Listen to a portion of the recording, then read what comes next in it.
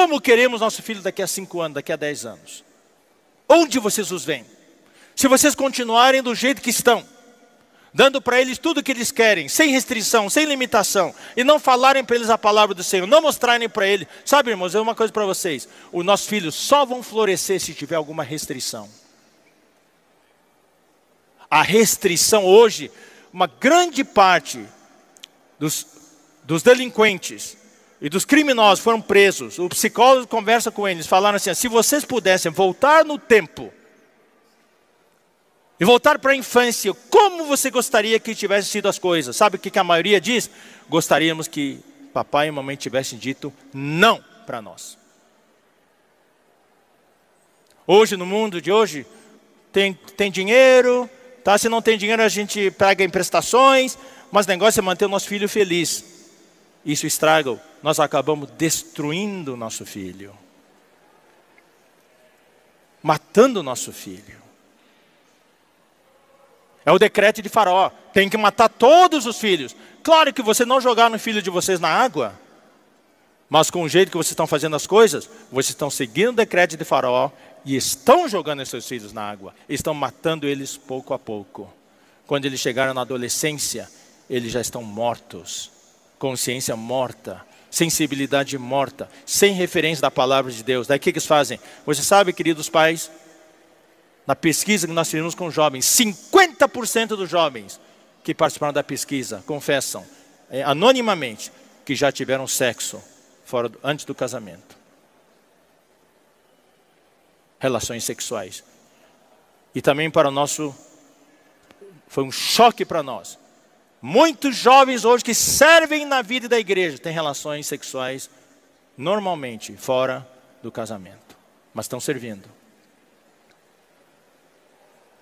Os pais não sabem. Tem pais que mandam a filha para uma outra cidade para fazer faculdade. O pai acha que ela está fazendo faculdade. Irmão, tudo isso a gente sabe.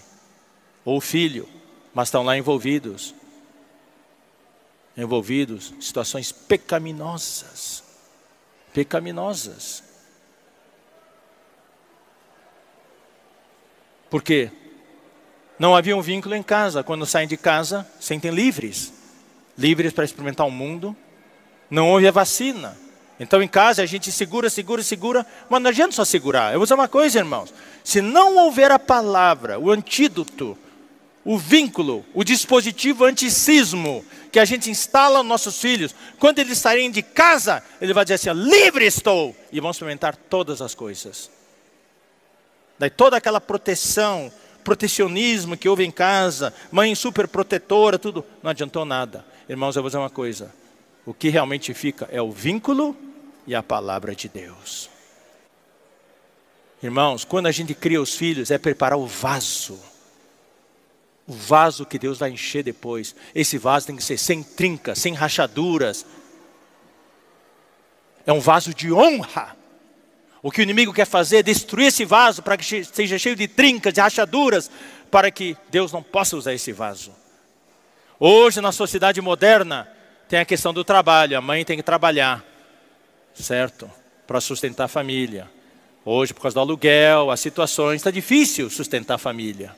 Então, a, a, a mulher tem que trabalhar também. Mas daí você tem que considerar seriamente. Algumas irmãs choram. Quando eu era solteira, quando não tinha filhos, eu podia servir. Eu fazia isso, fazia aquilo. Agora eu tenho filho, estou presa, não posso servir. Não, não, não, não, não, está errado. Você sabe que a mãe de Moisés vai receber um galardão muito grande no reino? A Ana, mãe de Samuel, vai receber um galardão muito grande, porque se você conseguir produzir um Samuel e um Moisés, eu garanto para você, querida irmã, você já é uma vencedora.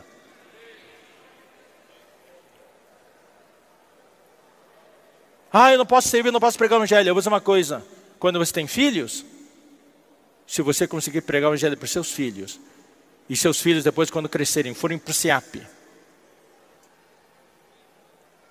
consagrar um ano para o SIAP, saírem do SIAP, serem homens de Deus, constituídos com a palavra, aperfeiçoados, e mesmo depois que trabalharem, fizerem faculdade, trabalharem, o que ele ganhar no SEAP vai moldar o resto da vida deles. Homens de Deus, vocês, irmãs, já são vencedoras. Ouve, Israel, o Senhor nosso Deus é o único Senhor. Amarás, pois, o Senhor teu Deus de todo o teu coração, de toda a tua alma e de toda a tua força. Estas palavras que hoje te ordeno estarão no teu coração. Tu as inculcarás a teus filhos. Inculcar, irmãos, é meter insistentemente até entrar. E delas falarás assentado em tua casa e andando pelo caminho, e ao deitar-te e ao levantar-te. Irmãos, hoje nós temos um grande quebra-vínculo, ladrão de tempo, é o celular. Em casa, marido e esposa estão conversando estão lá. Sim, querido, o que aconteceu hoje? Pois é, querida. E você, querido? Ninguém olha no olho no olho. Quando seu filho tem conflito, quando ele sofre bullying na escola, quando ele tem um conflito de identidade, até mesmo identidade sexual, ele tem coragem de falar com você? Irmão, já vi, eu já vi casos demais, e os pais choram de tristeza, mas meu filho não me falou isso.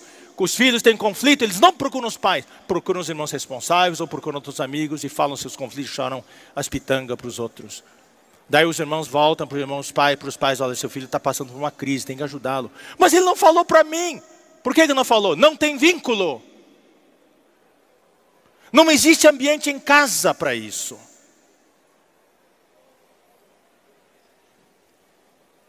Às vezes, quando a gente fala assim, irmãos, vamos orar de dois em dois, eu vejo o pai e filho sentado lá dos dois olhando para cima. Não tem, eles não conseguem nem orar juntos.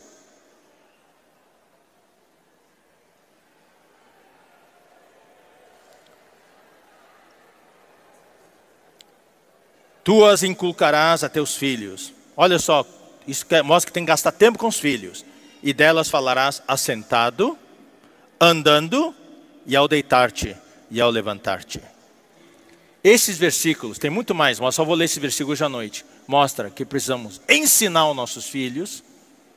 Isso denota que nós precisamos gastar tempo com nossos filhos. Mas, puxa, eu não tenho tempo.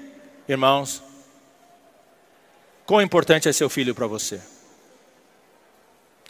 Tempo é uma questão de prioridade. Eu não tenho tempo para fazer exercício. Tem sim. Quando você tiver um infarto, que Deus guarde que ninguém tenha um infarto, mas se tiver um infarto, o médico falou: se você não se exercitar, você vai morrer. Daí, de repente, aparecem milagrosamente uma hora por dia para exercício. Tempo é uma questão de prioridade. O seu filho é importante para você? É que hoje tem coisas para você que são mais importantes que seu filho. O seu filho não está em primeiro plano. O seu filho tem que estar em primeiro lugar. Você tem que conseguir tempo. Se nós não conseguirmos administrar o tempo, como vamos administrar no reino? Eu sempre falo, hoje nós temos que aprender a administrar quatro coisas. Primeiro, gestão do tempo. Segundo, gestão das finanças. Terceiro, gestão das relações humanas. E quarto, administrar as circunstâncias. Precisamos gastar tempo com nossos filhos. Sem WhatsApp, sem celular, olho no olho. É voltar àquela maneira antiga. Por isso que antigamente nossos filhos, os jovens, tinham menos conflitos. Porque não tinha televisão, não tinha eletricidade, Chegar ao final do dia era luz de lamparina, lampião de querosene. Todo mundo ia dormir cedo, mas tinha muito diálogo.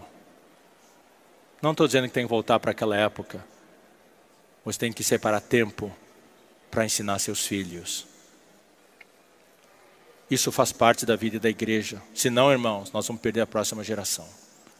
Não olhem para um grande número. Número nunca impressionou a Deus.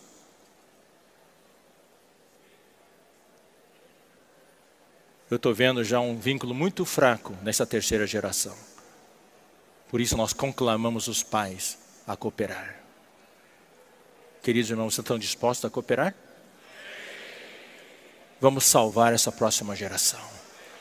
Afinal, são os nossos filhos, irmãos. São os nossos filhos. Quanta dor, quanta tristeza eu vejo os pais chorando. Meu filho não serve o Senhor. Meu filho está no mundo. a gente queria, irmãos, poupar os irmãos disso. O tempo do bilu-bilu passa rápido. Quando chega na adolescência é outra realidade. Os pais só acordam quando os filhos chegam na adolescência. Temos que ser proativos, acordar antes. O filho não nasceu ainda, nós já temos que estar, antena, estar antenados e já fazer o trabalho. Ter filho não é fácil, é muita responsabilidade.